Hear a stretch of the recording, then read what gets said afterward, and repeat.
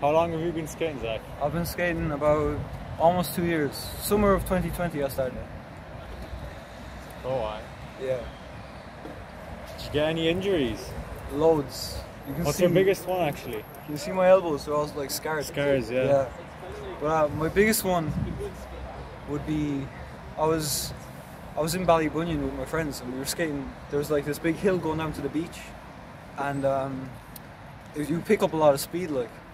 So my board was going down, and then my board started wobbling, and the board just just slipped out, and I went down the hill.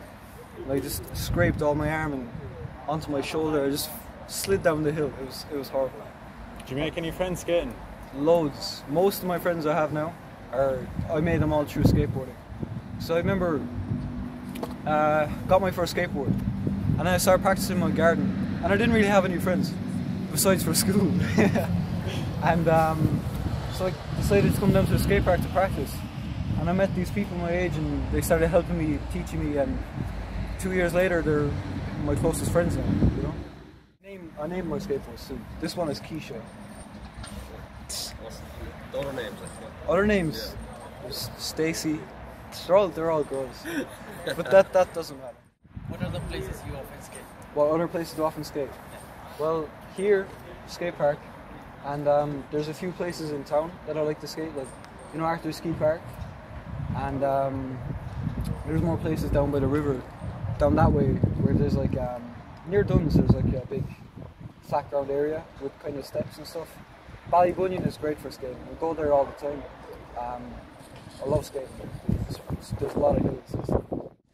Well, at first I couldn't balance either. I was, I couldn't even stand on it, you know. So it took me about a week to learn how to push, and then it took me about a month to get comfortable on it before I started learning any tricks. I just had to learn how to roll around and turn and stuff, and stop and push. So yeah, it's just put a lot, a lot of patience into it, you know. Just have to be patient, patient with it. You can tell if someone just if someone's carrying a board just to look cool, you can tell because there won't be a scratch on the board. You know. what was your favorite like trick? My favorite trick. My favorite trick is called a revert, and it's just when you just keep spinning. It's just the funnest trick I know. Well, I do have a favorite skateboarder. His name is Jamie Foy, and I, I love him because of his personality. You know, he's just a really funny, relaxed guy. You know, he's just very positive.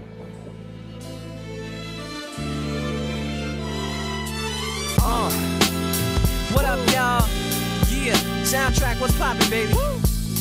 Y'all ain't know, I go by the name of Lupe Fiasco, representing that first and 15.